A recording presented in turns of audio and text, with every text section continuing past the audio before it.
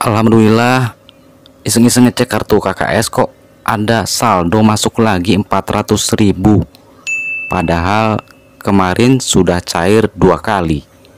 Nah ini sebetulnya bantuan PKH tahap 6 atau BLT El Nino ya? Nah baiklah teman-teman daripada teman-teman bingung ya dan jadi salah paham ataupun gagal paham nah lebih baik teman-teman simak informasi ataupun e, penjelasannya di kesempatan kali ini ya.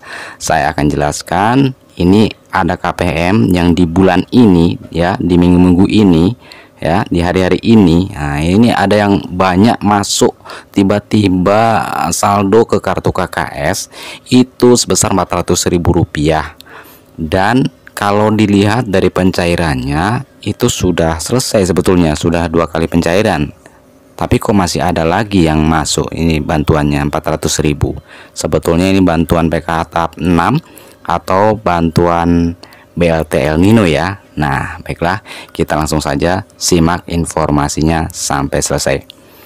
Assalamualaikum warahmatullahi wabarakatuh. Halo teman-teman di mana pun Anda berada Bagaimana kabarnya teman-teman? Saya harap teman-teman semua dalam keadaan sehat walafiat Tidak kekurangan sesuatu apa pun ya Nah, di kesempatan yang berbahagia ini saya akan menjelaskan yang sudah saya jelaskan di awal tadi yaitu tentang tiba-tiba ada saldo masuk ke kartu KKS di eh, khususnya untuk eh, KPM BBT murni. Nah, ini ya karena bingung padahal sudah cair selama eh, se sebanyak dua kali maksud saya tapi kok masih ada lagi ini 400 ribu nah ini saya akan jelaskan di kesempatan kali ini namun sebelumnya saya ucapkan selamat datang kepada teman-teman yang baru saja bergabung di channel ini. Saya ucapkan terima kasih banyak atas kehadirannya dan jika ada yang belum menekan tombol subscribe alangkah baiknya tekan terlebih dahulu tombol subscribe-nya agar tidak terlewatkan informasi penting khususnya tentang bansos atau bantuan langsung tunai yang diturunkan oleh pemerintah yang selalu kami informasikan setiap hari di channel ini. Baiklah teman-teman kita langsung saja untuk bantuan 400.000 ini bukan BLT El Nino bahkan apalagi untuk PKH ya. Bukan teman-temannya PKH tahap 6 itu tidak ada teman-teman ya kalau ada yang banyak ribut posting di sosial media ataupun di grup bansos masalah PKH tahap 6 sudah cair 400.000 PKH hanya sampai tahap 5 teman-teman ya. Kemarin ya itu alokasi November Desember. Jadi untuk yang tahap 6 itu bukan PKH tapi untuk BPNT ya. Jadi fix untuk PKH tidak ada tahap 6 nya ya dan itu jelas ya bukan PKH tahap 6 yang 400 ribu yang masuk ke kartu KKS itu ya. Apakah mungkin ini BLT El Nino nih ya? Karena saat ini sedang menunggu-nunggu untuk pencairan BLT El Nino. Itu juga bukan bantuan BLT El Nino teman-teman ya. Karena BLT El Nino kan ini kemarin direncanakan dicairkannya itu lewat PT Pos ya. Dari Kemensos saja kemarin sudah bilang bahwa akan dilewatkan pos karena pos itu akan lebih cepat penyalurannya ya yang El Nino, Bapak, kami sudah usulkan dengan biaya salur PT Pos. Kenapa saya kita berani dua bulan? Karena dengan PT Pos itu lebih cepat. Kalau lewat Bank Himbara lebih lama kan gitu ya. Dan tiba-tiba kok masuk ke KKS, nah itu kan tidak mungkin ya. Nah, baik daripada teman-teman bingung, saya jelaskan ini adalah bantuan PKH by validasi by system. Ya atau yang jelasnya itu adalah PKH penggenapan kuota 10 juta KPM nah gitu ya. Nah contohnya seperti ini teman-teman ya. Nah untuk kuota PKH itu kan jumlahnya ada 10 juta KPM ya. Nah karena setiap bulannya itu ada yang namanya verifikasi ketidaklayakan, maka itu banyak yang dicoret ataupun dihapus bantuannya karena tidak layak. Nah, tidak layaknya itu banyak penyebabnya, teman-teman ya. Mungkin sudah kaya, mampu ya, atau mungkin terdeteksi sebagai pegawai sipil atau pegawai ASN, ya, pegawai negeri, Polri, ya, eh, TNI seperti itu ya atau mungkin bahkan tidak ditemukan alamatnya atau bahkan meninggal KPM-nya. Nah, itu ya. Itu banyak sekali penyebabnya sehingga saat verifikasi ketidaklayakan itu mengurangi kuota yang 10 juta tadi ya. Nah, untuk menggenapkan menjadi 10 juta KPM kembali ini ya karena ini kan harus genap 10 juta di akhir tahun ini itu Kemensos akhirnya yaitu untuk menggenapkan kembali mengambil data dari BPNT murni ya. Jadi ini secara si, otomatis teman-teman ini secara otomatis uh, validasi by system BNBA ya.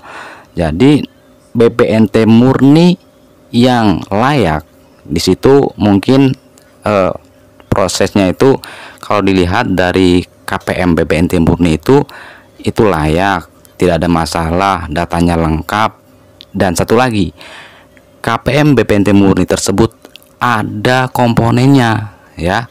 Di situ ternyata setelah dicek di bagian uh, Dukcapil mungkin ya, itu ada keluarganya di situ ternyata ada disabilitas atau mungkin balita atau mungkin punya anak SD, SMP, SMA. Nah, seperti itu ya.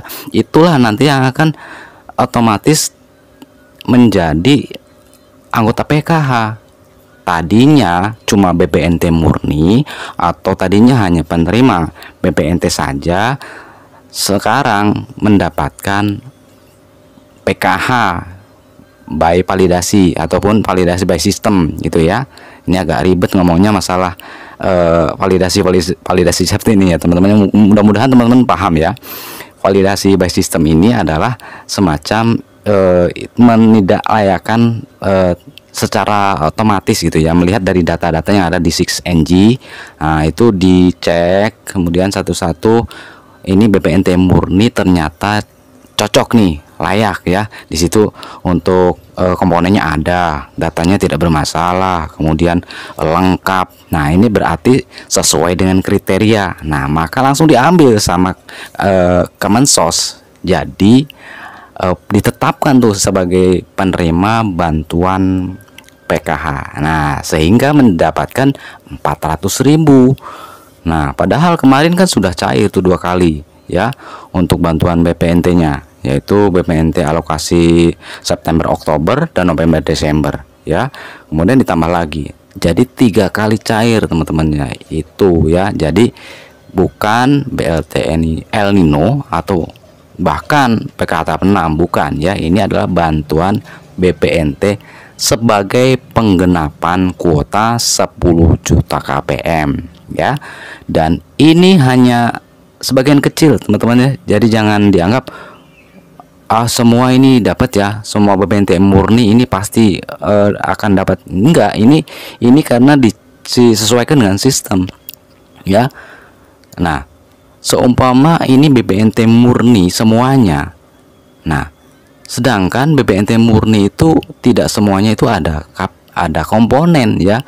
Mungkin uh, ada uh, mungkin tidak ada yang punya komponen ya. Mungkin e, hanya tunggal ataupun istilahnya itu nggak ada anak SD, SMP atau nggak ada lansia, nggak ada balita.